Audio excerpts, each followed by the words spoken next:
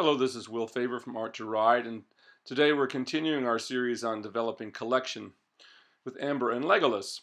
Now, today was uh, a sort of milestone day, if you will, and a very important day for him because it was the first training day that he's actually able to maintain a good degree of collection in all three gaits. So uh, for him, that was very difficult. As you know, this is a very big horse um, with a very huge stride. Before Amber got him, he'd been broken over in the neck. So, of course, it took the year and a half, two years just to cure that. But you'll see here today that he's quite able to come up into collection in all three gaits now without breaking over in the neck and staying pretty much uh, connected over his top line most of the time. So here she's just starting out. She's already done uh, five or ten minutes of just walking him around, just letting him stretch out. So where we pick it up from here.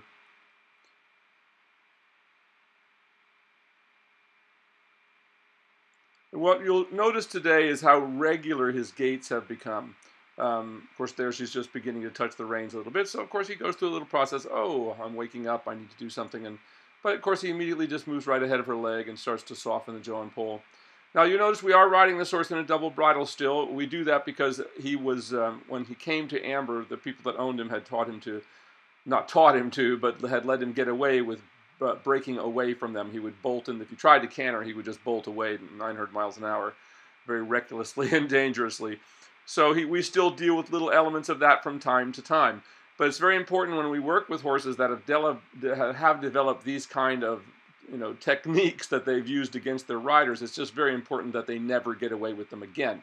You know, so if he scares somebody else and they get off of him, you know, that would never uh, do, or even just the idea that he can has to get over that idea of bolting away. So that's why she still uses the double bridle a little bit with uh, with this horses when when we're working the canter. Uh, mostly it's just because uh, you know something can still set him off. Now it's very rare, and uh, I'm sure it will not be long before he'll be able to do everything in the snaffle without we'll you know in other words we, we won't need that safety brake every now and then. I think we're just about at that point now with him. So you can see here he starts to come up into a very nice working walk. There's no tension in his body. Look how relaxed the underside of the neck is. And you'll see here when you watch Amber throughout this, uh, of course it slips some from time to time, but she mostly is riding off of the snaffle um, all of the time when there's usually a, a little slack in the curb rein, which is just exactly how you should do it.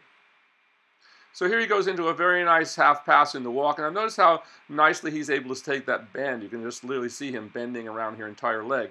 That can never happen unless the horse's back is lifted. These are the things we have to remember. So before you could ever begin to attempt to do a half pass, the horse's back must be up in the right position. So he struggles there. You can see he has little moments where he struggles a little bit and, and loses it for a moment, but he comes right back into the position that he's supposed to be in. This is a very big horse, as I say, and some of these exercises like this, he's also fairly straight behind. Um, were he trained in any other fashion than the way we're doing here, he you know he would look very post-legged behind. But the fact that he's working over his back allows us to maximize you know the thrust that we can get out of a fairly straight hind leg, and really change the whole way the horse is moving. So you can see there how she just has a little moment where she brings her shoulder back and touches with the leg just to lighten her seat and at the same time very quickly bring the horse's back up under her. And uh, of course, notice after she did that, you'll you see that he gets a much deeper stretch. So what she's doing when she's doing that is actually closing her upper thigh. It's like a yoga stretch where you stretch back over a ball so your seat actually becomes lighter in the saddle as you give that little upwards pluck underneath. That brings the horse back up underneath you. Once again, he comes into this pretty nice stable working walk here. And you see he struggles just for a moment, like as she's asking him to come up into a little more collected walk here. You see he struggles for just a little bit of a moment, like trying to figure out, oh, do I have enough strength to do this? And then he gets it very nicely right there. So remember, we're working at the far end of what this horse is capable of doing. So, you know, you'll see him struggling a little bit. But you'll notice that whenever he does, if he doesn't come into what we're asking to do, which he did there beautifully and got connected over his back and stayed there, we just immediately come back to the stretch. We never try to force the issue.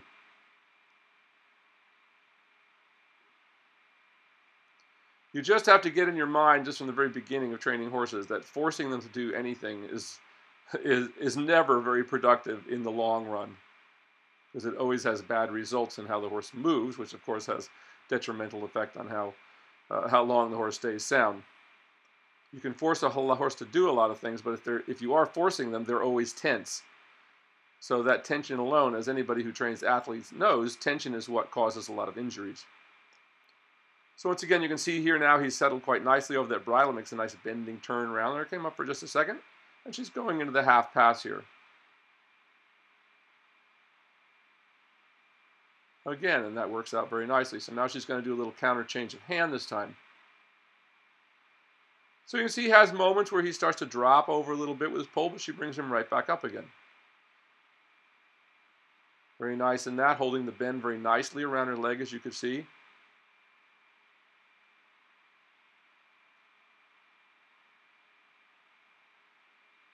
So very nice there.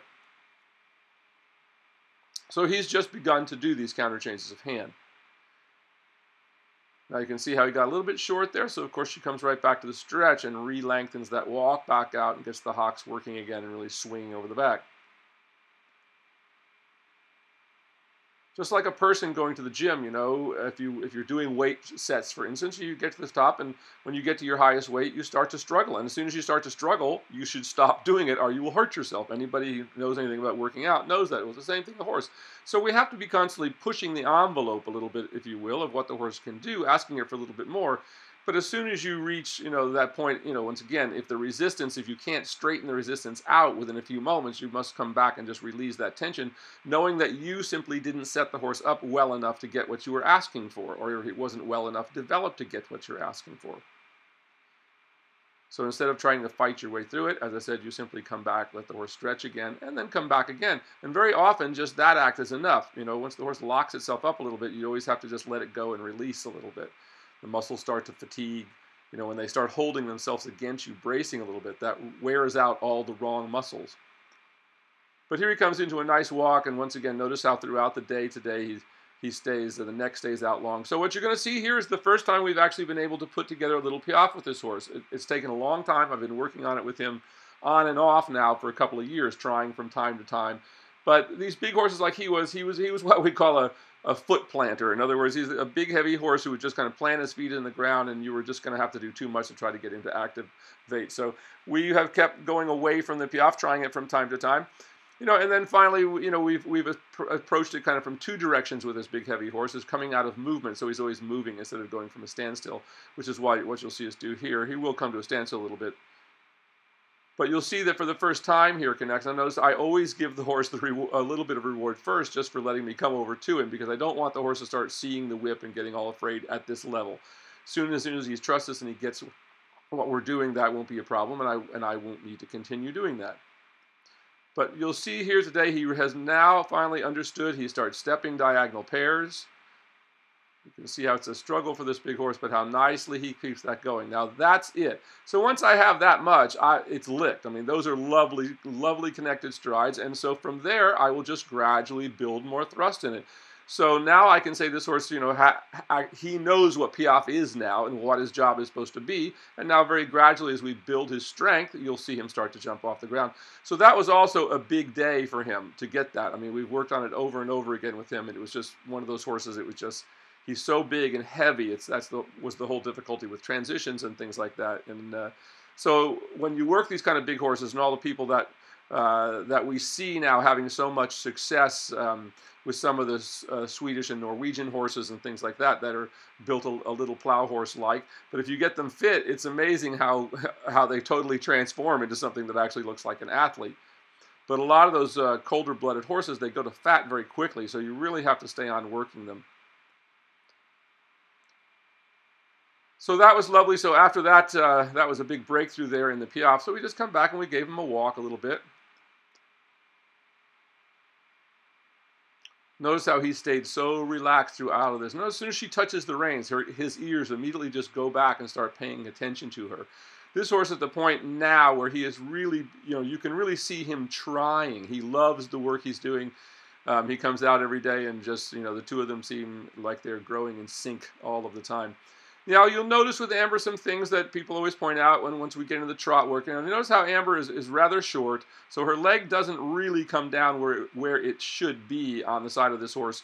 So her leg kind of lies right at the break of uh, of his sides there a little bit in such a way that makes it very difficult for her to keep the leg very still. But the thing to notice is it's very relaxed. So her leg moves a bit, but it's totally relaxed. It's just like a wet noodle hanging around the horse is what we want to do. And of course, she's had to learn to compensate for that a little bit because ideally, remember, we would like our leg to always hang below the break in the side of the horse, you know, by about a foot or so. So you can see him just going into the trot here. Once again, he's a big horse. He just takes a minute to struggle. We're, you know, she was not trying to keep him, as you all hear me all the time. Don't bother to, don't try to hold them in the frame in the transitions. Let, the, let it be what they're ready to do at that time and then perfect it later. So we get him into the trot, and of course, once he would warmed up in the trot, you would see that the transitions would be no problem. But that first little transition for him, being the kind of horse that he is, is a little difficult. So we let him get into it, and of course, we're going to go right into the stretch before we do anything else. So I always want to have the stretch before, uh, once I get it as soon as I can in the, in the stretch work, so I'm sure that the horse is over its back. And as you've heard me say many times, if I couldn't get the horse over its back, within a few moments I would have come right back to the walk. But I know that where this horse is now, and he's quite capable of getting there. It just always takes him a minute to, to get this big body working.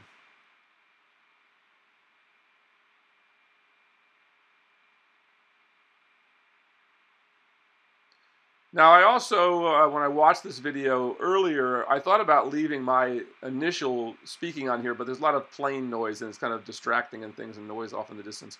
Um, so you could actually hear how little I say to Amber throughout all this, other than, you know, make it a little better here, a little pluck there.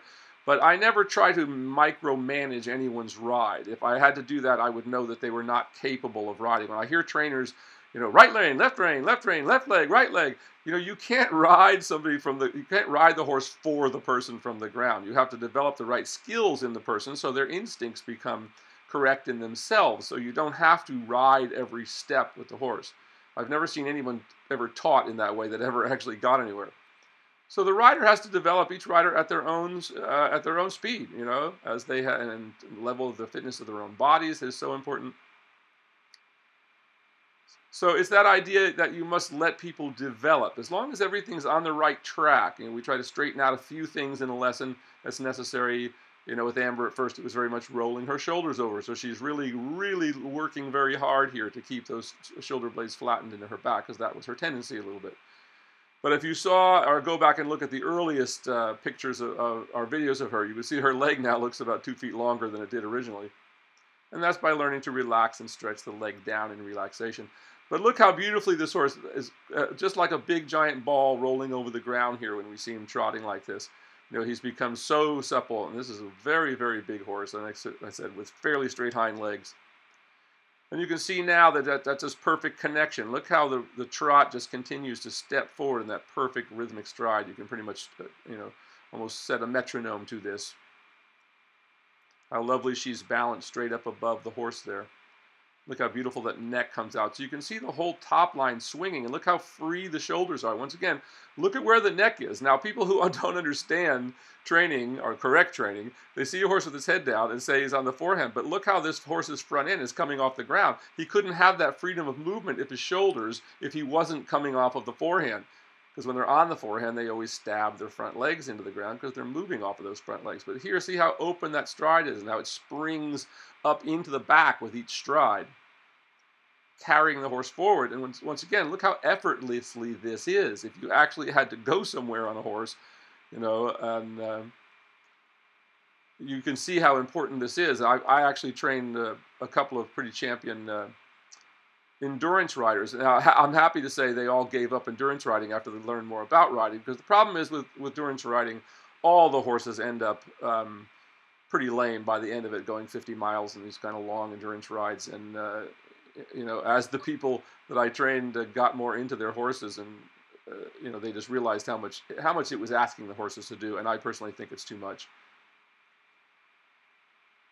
Because even the winners come back sore. You can believe that. So once again, look how beautifully he's stretching over that top line, swinging over his back. So we never want to try to bring them up until we get to that point. So then, when he when we bring him up, you can see how he like uh, there's a little bit of hesitancy for just a moment, and then he comes right back up into the trot, never putting on the brakes. And once again, notice how his ears are back listening to her all the time with that relaxed sense. So now today we're going to start in just a working trot. So she's starting out here just in what I would call a working trot. But once again, look how big this is. I mean, most people, what they think they're working trot is this shortened little slow down thing. Look how ground covering it is. Look how he's stepping up right into the track of the front foot. And once again, notice with the double bridle how she's keeping that curb rein relaxed all the time. How beautifully he's flowing down the long side here. You can literally just see him, the compression in those hind legs. I mean, you'll see when he comes into collection a little bit here gets more collected, you'll, you'll be able to see the thrust just sitting right down and pushing up into his back. So she's going to do a little medium trot here. Look how beautifully that flows forward. No hesitation in the stride, totally even. And all she does to regain the collection is just to stretch back up again. So her body lifts up a little bit and she slows down the rhythm. In other words, she no longer follows him in that bigger frame. So the horse learns to follow our back. That's why you must be so strong to do this work. I mean, there's no way you can ride at this level, folks, without being you know, in superior level of fitness.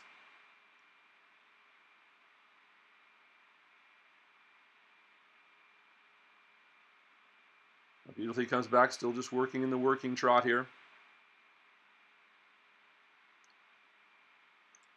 That comes into a nice shoulder in.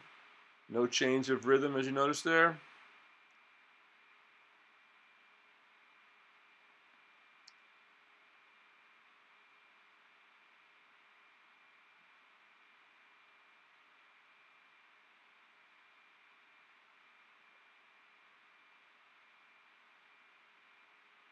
Beautiful stride on that, another medium trot.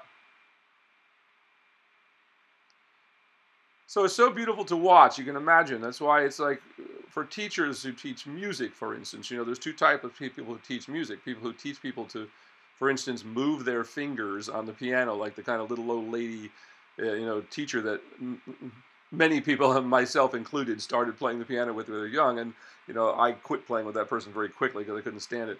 But uh, and there's people who really a real music teacher, for instance, teaches the child to listen and to hear music, not to not to memorize finger patterns and things like this. So. The same thing is true of the rider. That's why you can't, once you start playing the music, you must concentrate. That's why if you heard me teaching this lesson, I say very little. I simply am asking her what to do and giving her just a little pointers here and there because the horse should be working at a level where that's all I have to do, if that makes any sense, at whatever, right from the very beginning of training with a student. We have to let them develop. We can't develop for them or force them to do it any more than we can force the horses to do it.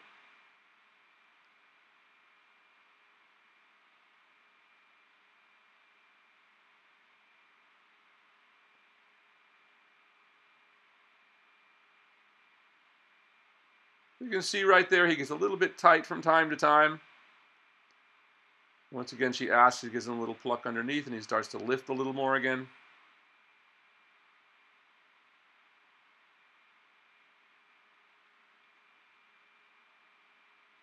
Now we're working on the half passes in the trot. So you can see the first one to the left here, he struggles a little bit.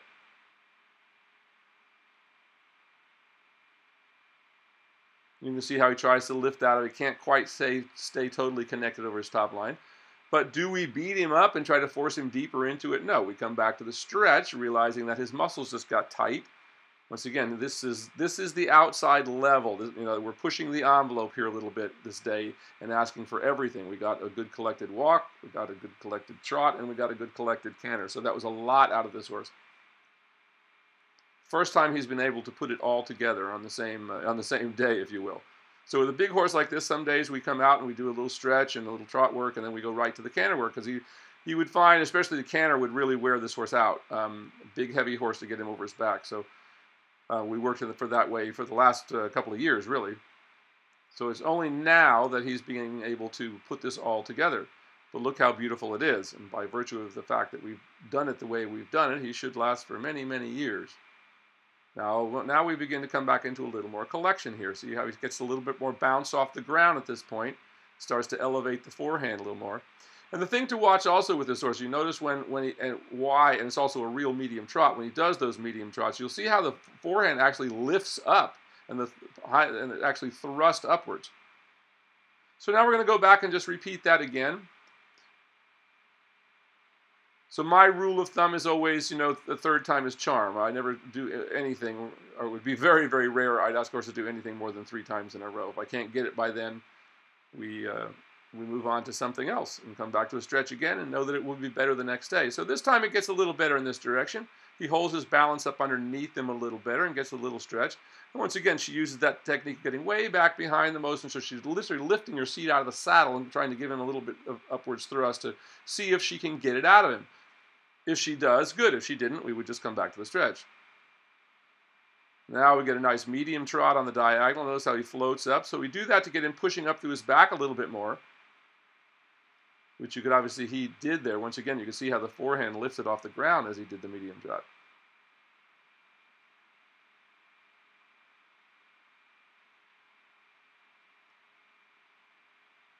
So now she'll come back for a final try at the half pass. And here this time we get a little more bend.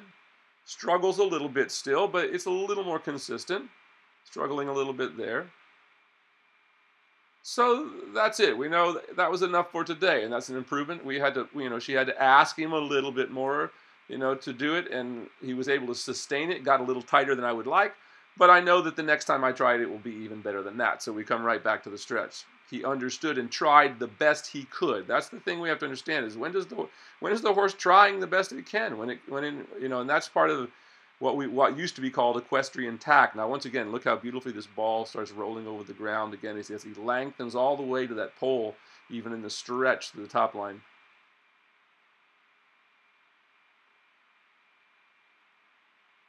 Beautiful swinging trot.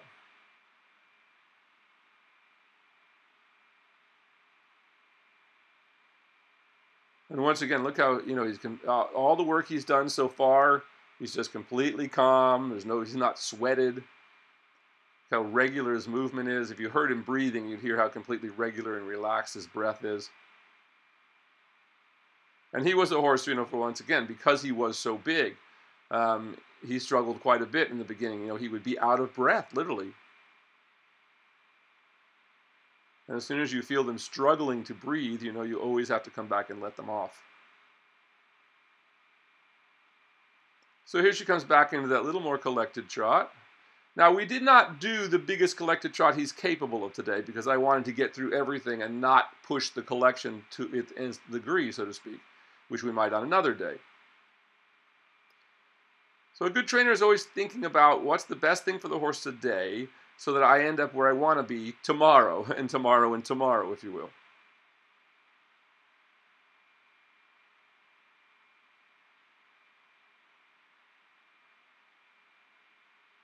So now we come back to the half pass on this side, which is really quite regular and about as good as the other one was on the other side. And so that's enough of that. We don't need to repeat it again.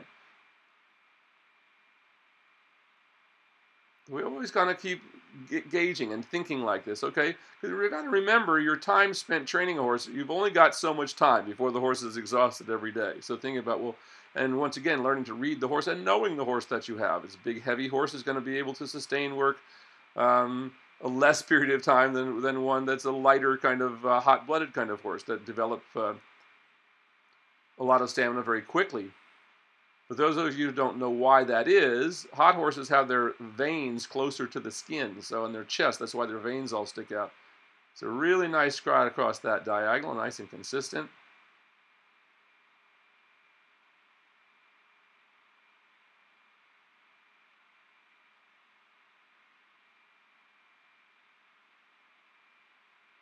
Now, Beautiful trot. Now look how completely perfect the flexion is in the neck. Notice how completely relaxed the underside of the neck is and how he begins to lift even more off the ground.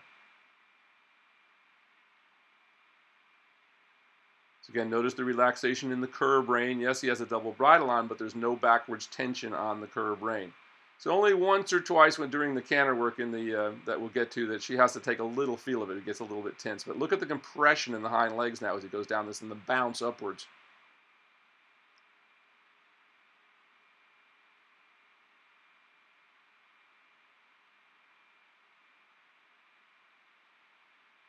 And now she's going to come back this time into an extended trot.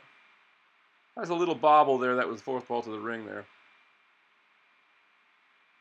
But we can see now that he's able to now do these extended and medium gaits and come through from behind so he doesn't lower in front. Remember, in the lower levels, the horse always has to be let go a little bit more on the forehand when we do the lengthening of stride just because it doesn't have the strength to hold itself up. So you saw there, once again, he, this old habit of his, when we first got him, when you tried to canter this horse, he would throw his head straight in the air every, and then bolt. So he still has that little tendency, but we don't fight him about it. You know, we get him in the canter, and it has just disappeared over time. And by the time he's uh, going Prix St. Georges, which I think will be not that long from now, um, you'll see all that will have disappeared. Look how beautifully he stays uphill in this canter. Once again, even in the canter work now, we see that same kind of compression in the hind legs that we saw in the trot going down that long side.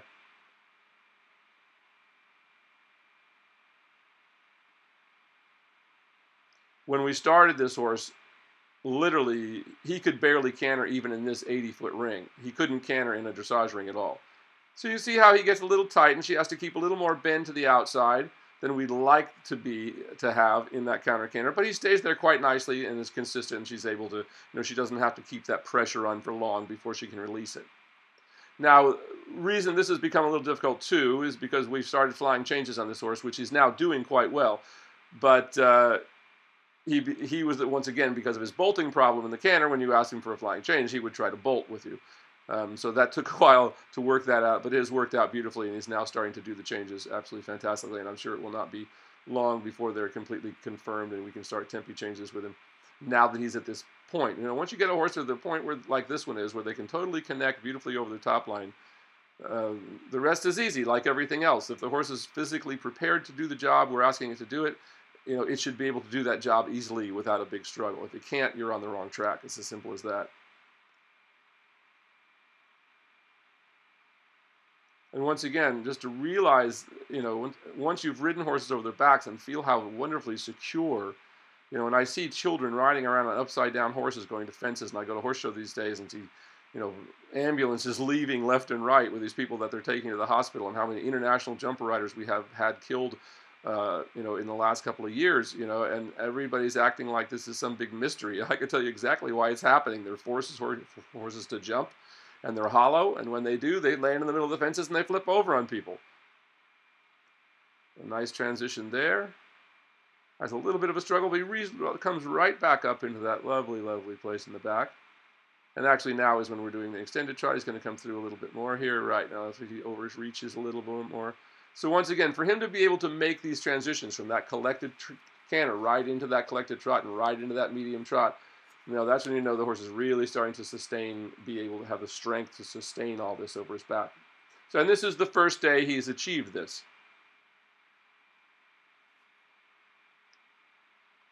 So he steps right up and how uphill this canter is, beautifully connected, beautifully three beat.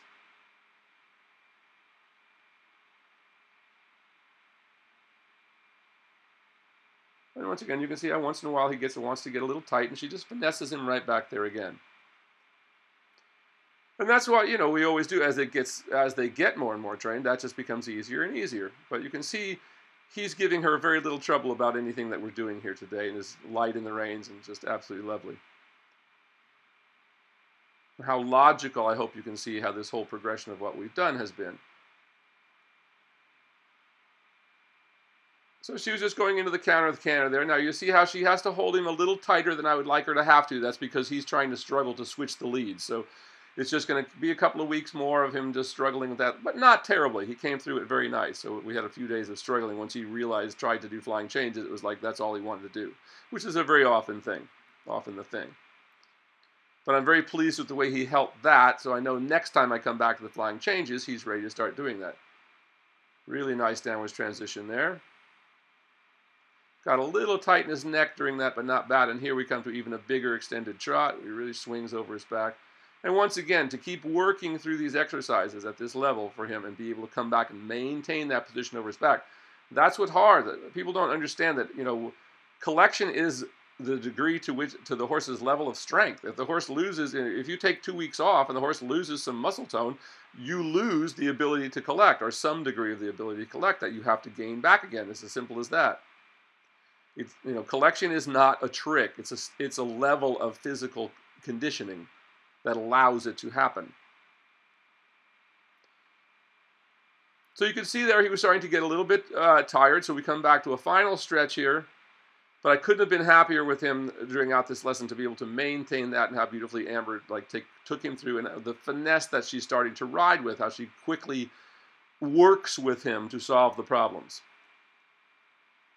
As I said, I really feel like these two are now really becoming a partnership where I think he really tries for it. I mean, you can see he hasn't, um, you know, there's never an angry or tense step other than a little little canter thing there where he gets a little tight about that. But once again, right into that relaxation, he trusts her.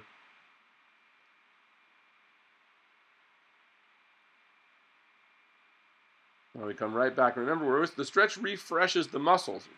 You know, collection is about just like you're like engaging a muscle. You tighten the muscle a bit, hopefully without tension, which is the hard part of all that. It's easy to you know flex your muscles and be tense and hold them hard. It's it's a different thing to flex them and be flexible at the same time. So a beautiful big swing over his back there. So by coming back to this last stretch, we're just letting the horse get all the blood flowing back to his body, bring all the nutrients and the oxygen back into his top line again. Letting everything flow. So you notice, in, and when we work, and this is how it always is when I work, you know, I, I want every student at his level to keep working, to, to learn to play the music, so to speak, not to just sit and talk about it. I see so much of riding lessons as people pontificating nonsense, and even and if it's not nonsense, it's maybe un, not even useful information for the person at the level that they're trying to trying to work, and you know, wanting to talk their way through it. You know, you've got to ride your way through it. So look how beautifully now he comes back into that collection after letting him refresh those muscles again. And now he looks like a new boy, like he looked rather tired a couple of moments ago after all that. But now he looks like he's totally refreshed again and like you could keep going. As Amber said at the end of this, she said, well, I felt like I could just keep going and going. And that's exactly what it feels like. Now once again, look at the compression in the hind legs now. Look at the perfect connection. Uh, once again, look at this horse's back behind the saddle. That's what a horse that looks like is uh, correctly trained looks like. They, there's no hole behind the saddle. They're not built that way. Horses develop those holes from bad riding. Look how beautifully he straightens out here. And we'll notice, look how straight he's trotting right here. Once the horse gets over its back, you don't have to struggle to make them straight. They just are straight. So now she's going to make a halt for us. And look how nicely he flows through that turn. For this size, this horse is about 18 hands. Now look how she'll just stretch up and he steps right into a perfect square halt. No tension. Absolutely beautiful ride. Amber's done such a great job with him and uh, congratulations to her. But want to keep you guys all seeing what your goal is. This is where you're going to get to if you keep doing the work that you're doing. This is Will Faerber from Art2Ride with Amber Matusik and Legolas. See you all next time.